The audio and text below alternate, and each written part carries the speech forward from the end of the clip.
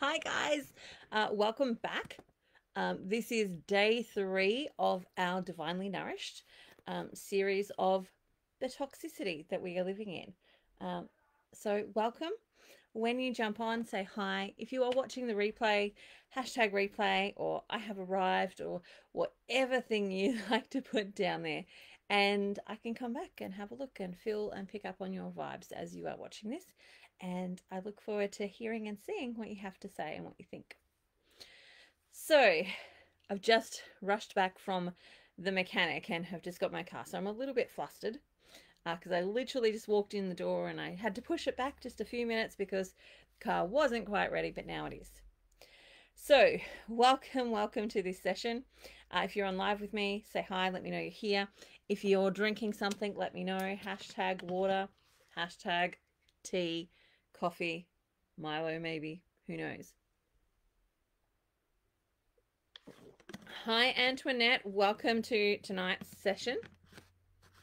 So tonight is the final in the series of three of the toxicity, which is kind of the first chapter of my book, uh, Divinely Nourished. And the book, of course, will expand it even more. In the course, we're going to go into these types of things. So, this is the sort of thing that we'll be doing in the course.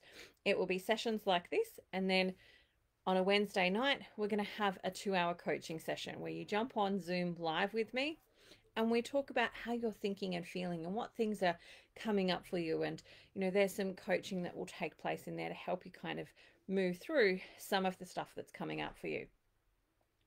So, I want to thank you for sharing this journey with me and coming on board and listening to me as I share all the little bits and pieces around Divinely Nourished. So, tonight's session is really about the toxicity of the physical plane. So, you may have mentioned me talking about for the last two evenings that we live in a world that's far more toxic than it's ever been before. And as a people, we actually do things that are less beneficial or less detoxing than we used to do before as well. So let me give you an example. 200 years ago, most of the chemical stuff that we have created within our industrialized revolution hasn't was not actually in existence. There wasn't the food chemicals that are around. There wasn't the science that actually uh, pushed that along. There wasn't the machinery that made us be able to do things that we couldn't do by ourselves or took us a long time to do. Like there was a lot of manual labor in actually making some of those things happen. And so now we have machinery, and that has gone much more rapidly. And so the toxicity that we are exposed to in our world right now didn't exist as it does now 200 years ago. It didn't exist 800 years ago. It didn't exist a thousand or 2,000 years ago. But now it's readily available to us. Uh, yeah, Antoinette, just go back and watch those two those two ones already. They're there. They'll be up until the 25th, and by the at the end of the 25th, that's when they'll be coming down, and they'll be only available then in the actually divinely nourished group. So, like I was saying, we live in a world that's far more toxic than it's ever been before, and we do things that are far less detoxing than we've ever done before. So, prior to the industrial age, you know, let's let's say a thousand years ago. So, a thousand years ago, a lot of people would have been doing some manual labor. In order for them to get the food, they would have at least been growing their gardens, they would have had maybe a victory garden, or they would have been working in some way, shape, or form, mostly outdoors. So they would have had sunshine. They also would have been in contact with the earth. They also didn't necessarily have the running water facilities that we have today. So the food that they're eating actually contained sometimes parts of clay, which is a detoxing tool. It helps to detox us. So we naturally did some of those things that actually helped us to detox, like getting in contact with the soil, bathing in rivers and oceans, swimming in an mm. ocean versus swimming in a chlorinated pool, uh, having access to those things because when we didn't have the infrastructure, we lived around the edges or where there was food or where there was resources. And so we had access to all sorts of different things and we would come in contact with that on a regular basis. And th- those things like fresh air, sunshine, exercise, getting in contact with the earth, earthing, even things like making mud pies and bathing in the ocean help to support detoxification in our bodies. Now we think of today, how often are you bathing in the ocean? How often are you eating food that might still have clay on it? How often are you going outside and actually earthing your body, getting in contact with the soil? How much of your day are you spending inside versus being outside? These are all some of the things to think about when it comes to looking at how we are supporting our detox pathways. Are you walking around trees? Are you walking around an ocean? Are you spending time outside, deep breathing and connecting and earthing with the soil? Are you making mud pies? We do far less in our society now naturally to support detoxification, and we have far more toxicity. So, when we're looking at the toxicity of the physical world, we're looking at, of course, the household chemicals, the things like the bleaches, the um, dishwashing liquids, the soaps, the perfumes, the makeups, the clothes, the chemicals that we use to make the air smell nice, the shampoo, the conditioner. All of those things are, of course, the toxicity that we experience in the home. But it goes even further than that.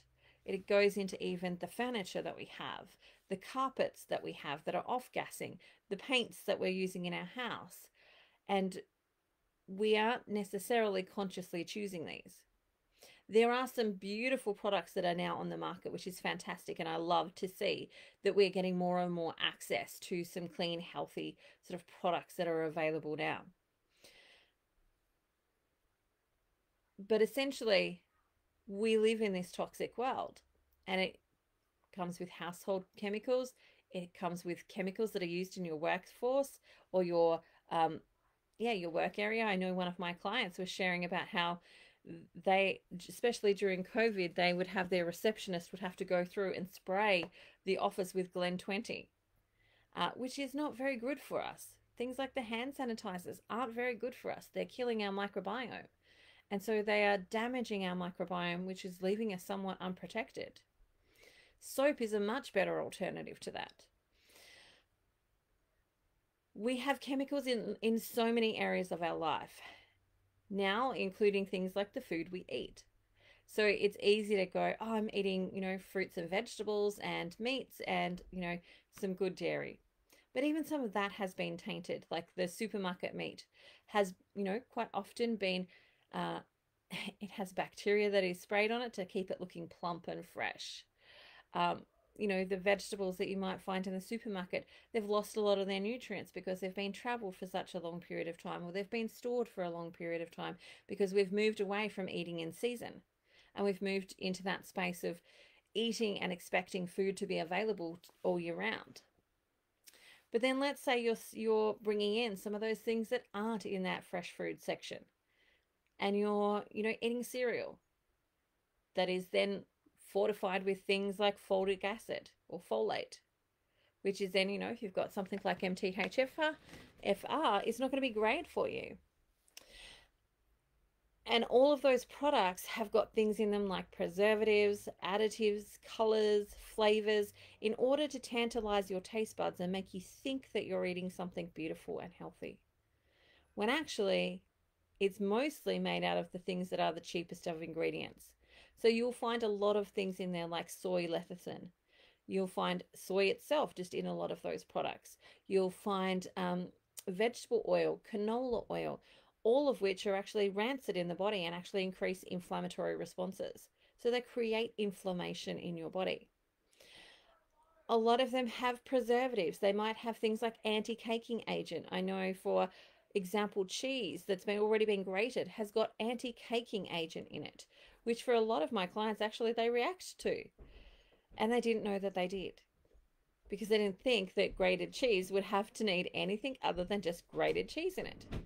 I know for my family, you know, we're currently on on GAPS. And so for us, we're really careful about what ingredients are in things that we're actually buying. And we've even looked at banana chips. And banana chips are not just bananas that are dried. One would think that they would be, but actually they're spraying banana chips with sugar and then they're dehydrating them. And so, even the simple things that we think are really innocent, that are going to be fine, sometimes actually aren't. And that is just a representation of the world that we live in. Uh, Antoinette is saying, I've heard that it's good for you, good for you to go outside in the sun with no clothes on every day for 20 minutes. but a bit hard with neighbors. Yes, and I actually have a client who does that. She's, you know, gardened her house so that she can actually enjoy going outside nude for and, and having her morning coffee outside. Um, yeah, it's also a bit hard with older children, yes. But you don't have to be completely naked. You can do things like lay outside and read a book for five to 10 minutes or 15 minutes and, you know, just roll up your, your top so you're covering most of you. You could go out in your bathing suit. You don't have to be completely butt naked. You can if you want to. Like, I'm not stopping you from doing that. But you don't have to. It's not absolutely necessary. But essentially, what I'm trying to get to is that we live in this place that is actually very toxic to us. It's toxic to us from that physical level by the food that we put in, the food that we've been sold as as beneficial to us. The amount of times that I have um, clients come in and they go, "Oh, I've been told this is really good for us," and then when I look at it and I explain to them, you know, what's actually in that food and how that is processed in the body and what it does to them, they're like, "How do we not know this? How do we not know that?" And it's because of the marketing that's there. Like it's very clever to try and disguise what what the food is you're eating, what's actually in that food, what it contains. It's designed to trick you, and it does a very good job a lot of the time. Along with that, though, we have this culture that, you know, there's a lot of shame in our culture, and some of that shame is, you know, if your kid has got a lunchbox that's different than everybody else's, that they could get picked on and bullied. And I have, unfortunately, you know, got children, not my own children, but clients who have their children picked on and bullied at school because they're eating the most nourishing food on the planet. Like, because they're eating vegetables and meats and fruits and they don't have tiny teddies in their lunchbox. They don't have all this extra stuff in their lunchbox. They're actually just eating real food and they get picked on and bullied at school for eating real food. And it's that real food that's healing their bodies, but they have this conflict because they don't want to be picked on at school. They don't want to be attacked. They don't want to have to be different to everybody else. But in order for them to be healthy and to heal their bodies and help their brains think really well, they have to. And so we have this culture that's not set up for thriving, especially when it comes to um, encouraging real food. It's not necessarily set up for thriving. We have all sorts of different things that go into helping us create uh, how we're going to eat, including the culture. So I mentioned this to, I think I, I maybe mentioned it on here. Maybe I did, I'm not sure. Um, but I was mentioning it to someone that we have this thing around Christmas, for example. Christmas is coming up, and I'm talking with clients at the moment who are like, I really want to get my health on track. I'm actually in physical pain because of my stomach and all of this other stuff, but they're still concerned that it's going to interrupt Christmas and it's not going to be a great Christmas because they're used to Christmas being all about the food. And then it's all about the food. And if you need to eat something different in order for you to be healthy and well, then you're making a fuss. Then you're making a problem. And for a lot of my clients, especially if they've got gut health issues, they've also got issues when it comes to their own personal power as well, because the gut is the embodiment of our personal power. So if we don't feel we're allowed to have a voice and we're not allowed to stand up for ourselves and our boundaries aren't respected, we're likely also to experience gut issues. And so, as we are trying to rebuild that, we want to do the emotional plus the physical work together in order to create the great outcomes. And so, for many of them, they're already on the back foot when it comes to being able to stand up for the things that they actually need or ask for the things that they actually need in order to be healthy and well.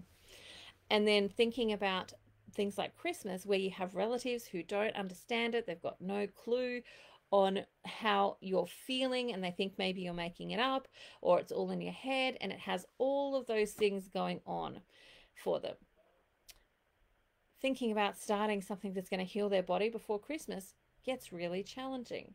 And it is one of those things where I absolutely understand. And it might be that you go, well, this is the last Christmas I'm going to do this.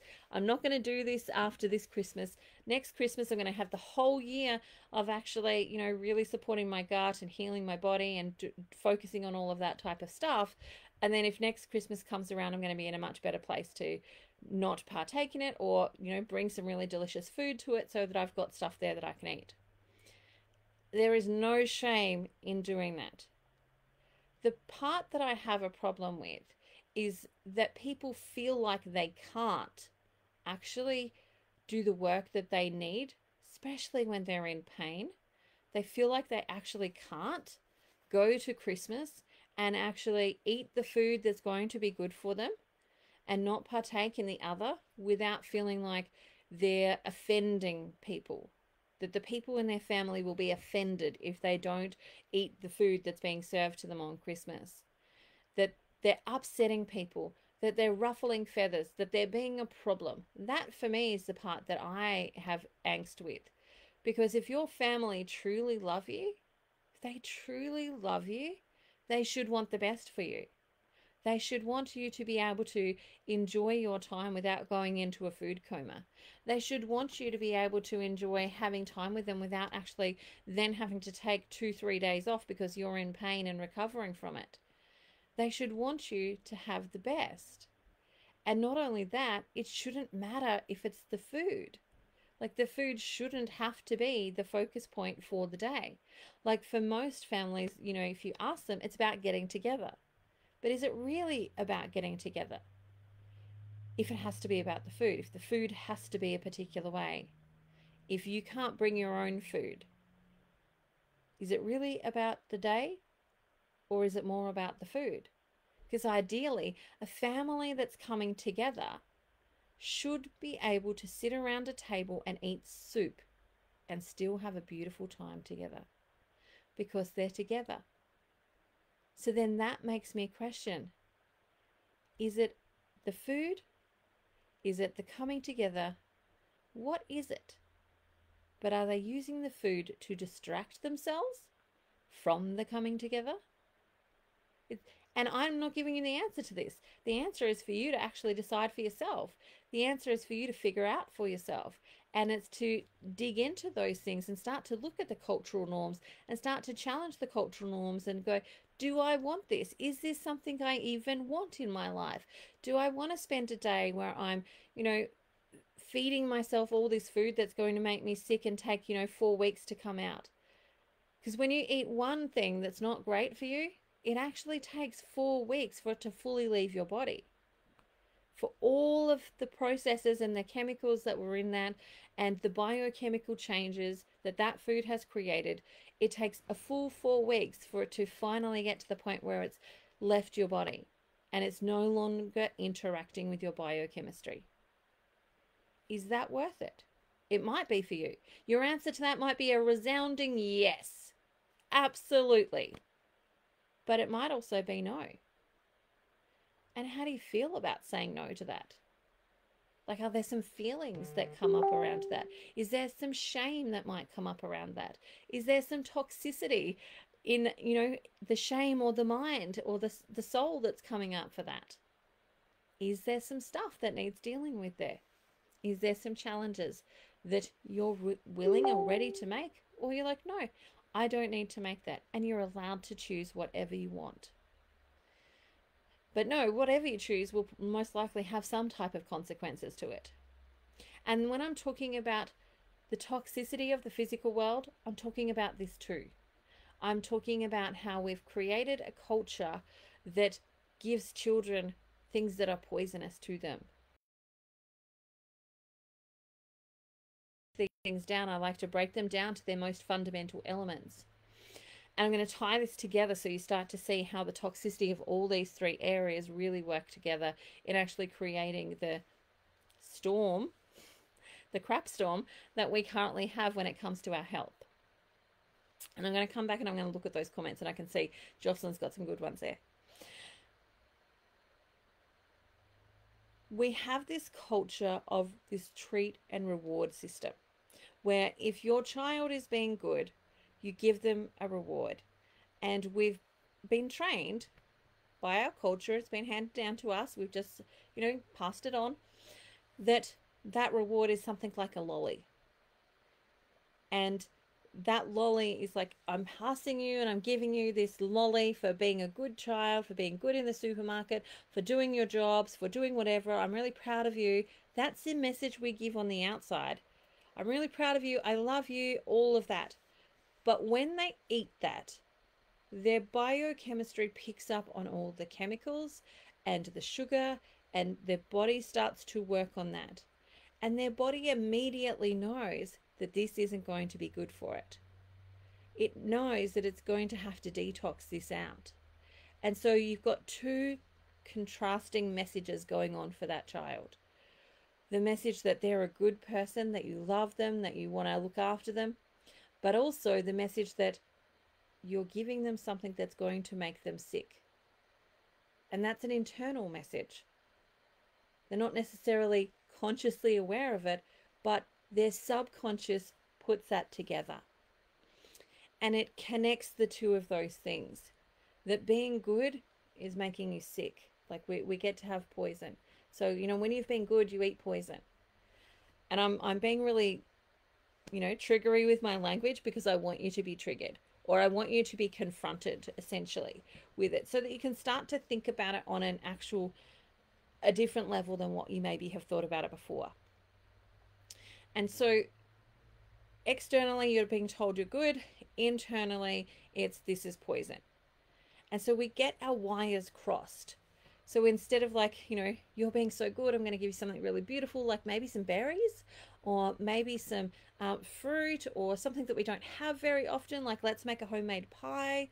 Uh, I'm going to give you those types of things, or even maybe not even food. Maybe the reward is an activity together, spending time together.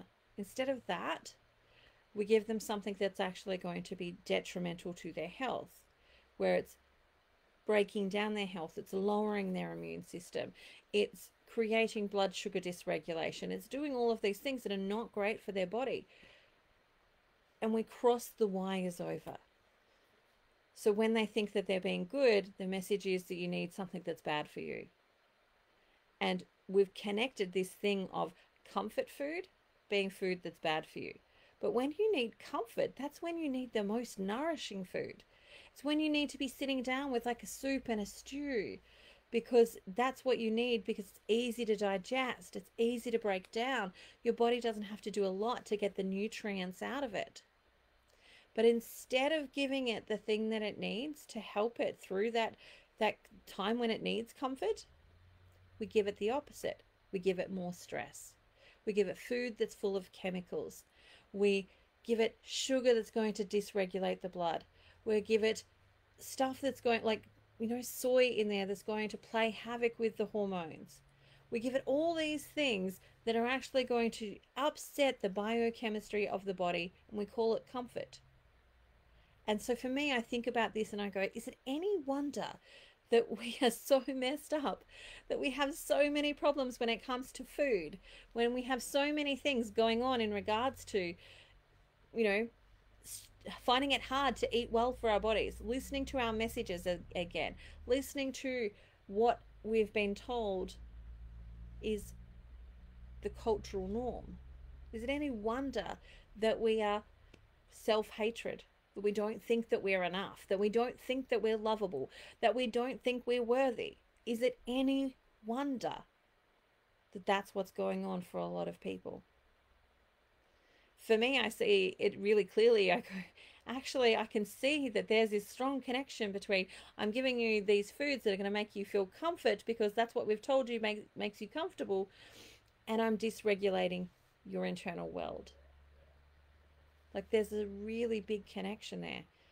Like the image that comes to me as I'm thinking about this is like handing a, a child a lolly and saying, I love you so much. Here, have some poison.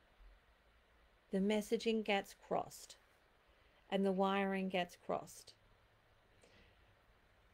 And that's another area of toxicity in our lives.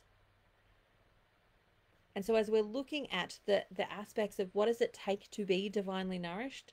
What does it take to be and feel like you are divinely nourished? It is nourishing all the parts of you. Nourishing your physical life so that you're eating food that is amazing for you, that is nourishing for you, that's actually going to support your physiology, which is different for everyone. There is very much some similar principles for most people, but even, you know, from a biochemical point of view, there are some differences. We all need to be, you know, that's why I run hair tests so that we can figure out what that is for you. But it's also the toxicity of the mind. So the music, the thoughts, the processes, the things that we see, the things that we hear, all of that playing into how we think and what messages we get from that. And it's also the toxicity of the soul, where we've been wounded along the way, where our inner child is still grappling to try and be heard, to try and be loved, to try and be seen, and it's still driving the bus of your adult body where it's running the programmings and the patterns that served it as a child to keep it safe, but don't serve you as an adult. And we have this intertwining and this interdancing between the two of them and the three of them. There's this connection between one. So, from the point of being divinely nourished, if you have a belief that you're not lovable, you're not worthy, you're not enough, or you're not anything else that you want to add to that, then your subconscious gets to work on creating that. And so it starts to attract you to food that it has been taught is not going to be good for you from a biological point of view. So it might be that you're suddenly hunting out the Tim Tams and you notice that there's 10 different varieties. Not that there is, but you know, you notice that there is a lot of different varieties. And you put all of those varieties in your trolley that day because you're like, I need to taste every single one of these to find out which one I like. And then I might need to do it another three times to again decide which one is my favorite. And it attracts you to the cake and it attracts you to the lollies and it attracts you to all of the things that you've been taught are your comfort foods, but actually damage, break down, and destroy your body. Because it started with the thought that you're not enough, you're not worthy, you're not lovable when actually that is an illusion. You've always been worthy. You've always been lovable.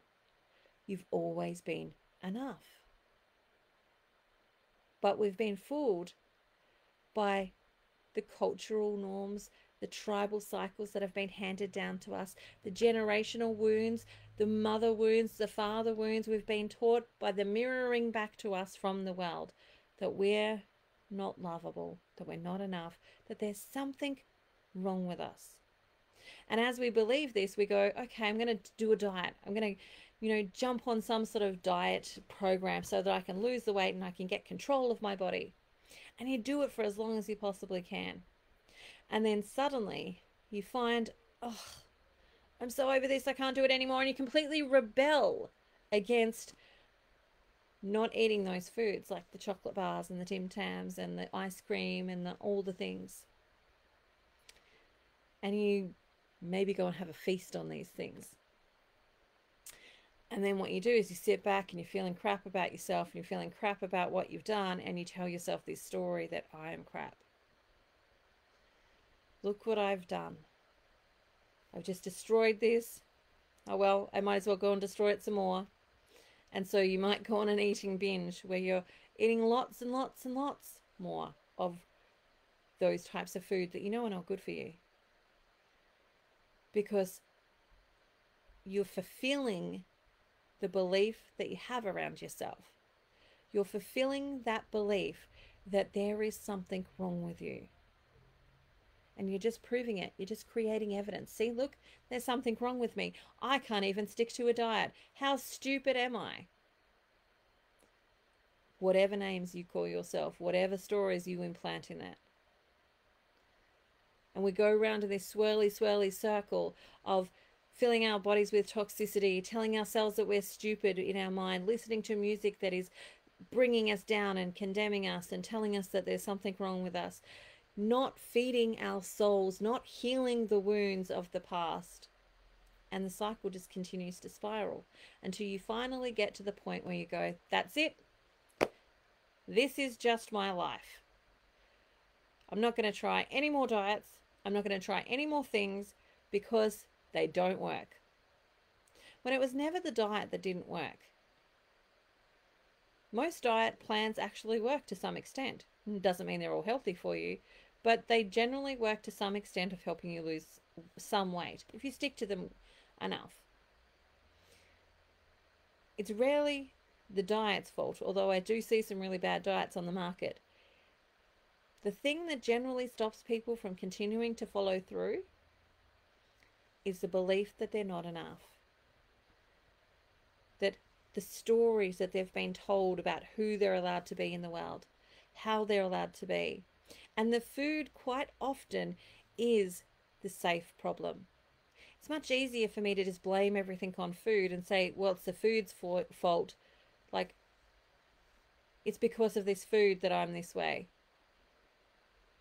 And that's just my lot. I'm not going to get any better. It's much easier to do that than go, hang on, there's a little person still living inside of me that is still carrying wounds from when she was three or when she was four and this happened to her. Or that time when dad came home and he was drunk and he slammed the door and he scared you and you were frightened and you felt alone. Like it's much easier to blame the food and to blame the diet and to blame all of those things than actually to look at the darkness, to look at those spots that need healing, those wounds that need to be loved, you need to shine the light on and actually bring some love and peace and restoration to. It's so much easier to just blame it on the food and blame it on a diet and blame it on my willpower that doesn't work than look at the wounds that really need healing. And that's where we reached this space of being truly divinely nourished when we're able to nourish those wounds and bring love and peace and joy and compassion and hope to that little one that's still living inside. When we're able to fill our energetic space with positivity and things that are going to uplift us and keep us walking in the direction that we want to go.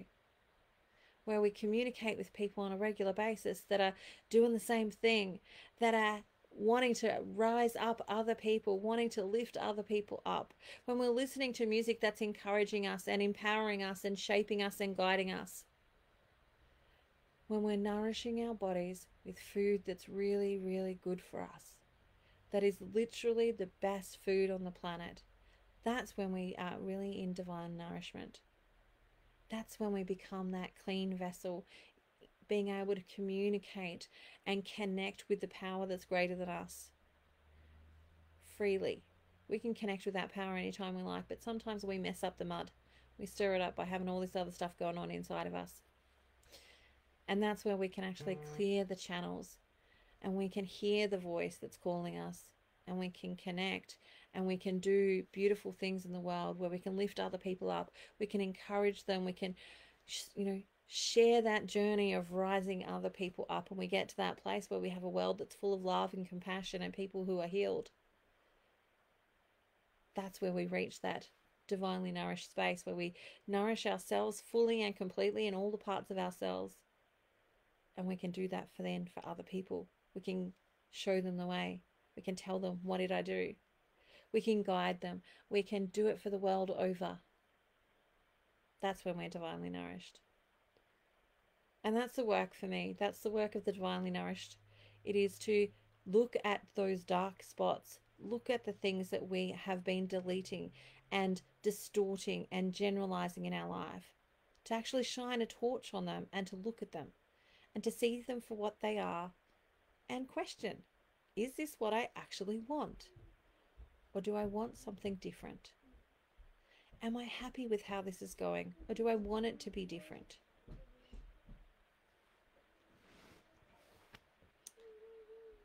that's the work of what divinely nourished is. Let me know. Is this resonating for you? Put it into the comments.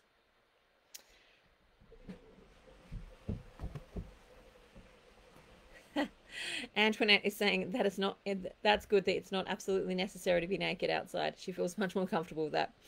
Uh, Jocelyn is saying that they started GAPS intro two weeks before Christmas, which is like probably one of the most restrictive parts of the diet, GAPS intro, uh, and and doing it with Christmas. There is always a way. If there is a will, there is always a way to make this happen. Uh, she's saying that I would have found it so much harder if we'd done it while we were still at home. Yeah, and that makes me kind of sad.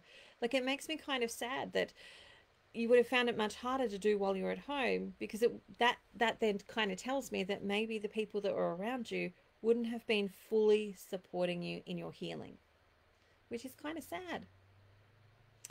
Antoinette is saying, I find it hard going out to family, etc. sometimes. And yes, they might think that it's all in my head, but I bring things I need and I like to be respected for that. And I will just stay home or be happy on my own. Yeah. And, you know, we're the crazy people that generally take food to food wherever we go as well. But people who love you and care for you respect that. They know it's not about them. They know it's about you getting the healing that you need versus it being about anything else. So I want to thank you for joining me tonight for this final session in this trio. This is the work of the Divinely Nourished. It is to connect into all of the stories, all the things that have, you know, brought us to the place that we are, to look at how our biochemistry makes us think differently, to look at how us thinking differently alters our biochemistry, and then that alters the desires and our um, what we actually see in our senses to bring into our bodies you know, if you're in a space of self hatred, you're going to see more things that are going to be not so great for your body. But if you're in a place of like fully loving your body and loving yourself for who you are and respecting it, you're not available to bring junk into it. You recognize that you're a Ferrari and Ferraris require top quality petrol. They get great services. They you don't go and buy one of those expensive cars and then don't look after it. That's generally not what most people do. Most people are looking after those cars. But we, in our bodies, are like our bodies are so much more than a car. Our hearts and our spirits are so much more than a car. But often we don't do the same level of we don't give the same level of attention to that. Which kind of is like really sad. The other thing that I want to say and this was something that's that came out for me in my own journaling on a lot of this topic and digging into it and figuring it all out and kind of just like really delving into what does this really mean? And one of them was that i knew that i was destined for great stuff. And i see it in my clients all the time especially when they come to me because they've they want to deal with weight. They they say things and they, you know, communicate to me, and I can hear in their voices that actually they're destined for great things. They've always been destined for big things, they've been called to amazing things. And they're not stepping up into those things because of fear, because of social conditioning, because of all of those things that, you know, stop us from stepping up. And because they're not stepping into their greatness on the outside of their bodies, they step into greatness on the inside of their bodies and they expand their bodies in order to hold the energy that they're not releasing, that they're not letting out, that they're not sharing, that they're not giving away. In order to hold that, they create bigness within their bodies, which then makes them attracted to the food that's not going to be great for them, that makes them attracted to the cycles that are not going to support them, that makes them bring in products into their home that they know are not going to be great, but they're easy to use. It leads them to do all of those things. And so when you're thinking about this, whether you join me for Divinely Nourished or not, think about what are the things that come into play for me when it comes to what's going on for my body, whether it be eating healthy and well because you're you've got IBS whether it be, you know, I'm reasonably healthy, but I know that I could have more energy and I'm not really giving myself the opportunity to have all the energy that I could have. Whether it be you have some serious health conditions that you actually need to work on. I can hear someone crying outside my door. It's okay, somebody's got them. Question those things. Start to look at your life and go, what are the social norms that I'm conforming to? Uh, am I happy with them? And you're allowed to be happy with them. You're allowed to go, yes, I'm happy with this. I'm going to keep this exactly the way that it is. You're also allowed to go, no, I'm not happy with that. I'm going to make a change. I'm going to think about how I could do this differently. And it doesn't have to be today you see the problem and tomorrow you don't, you like never do that thing again. It can be today you see the problem. And then as you journey along, you start to see the solutions to that problem and how you might be able to do the same thing or in interact in the same way, but do it in a way that's actually healthy for all versus it damaging your body and bringing you down. Jocelyn saying yes, and so glad we did. Even when we did, it was so much easier than I thought. That's the having having intro over Christmas, especially over Christmas. The kids were amazing. The results were so worth it, and we even had some wonderful family members that are super supportive and inclusive and understanding, and that's really beautiful. It's really beautiful, Jocelyn, that you had some family members that were really inclusive, uh, and you know, did that for you. All right, that's it for me tonight, guys. I've got a got another call to jump onto. Uh, I want to want to invite you to come and enjoy come and enjoy this, but also come and join me for Divinely Nourished. We're starting on the 25th of November, so still the, there's still time to jump in, and we're going to be kicking off with some classes, and then we're going to be doing some live coaching every week. So 12 weeks, you and me. Uh, and a group of amazing women. We've already got some fantastic ones in there that I'm already excited to be working with you and me, a bunch of amazing women going on this journey together as we unpack and we connect with our inner stories and our inner selves. We do the work of the divinely nourished. All right, bye for now, and I will catch you next time. We've got another event, so make sure you've liked the event. We're going to be talking about all sorts of other things there. Bye for now. See you later.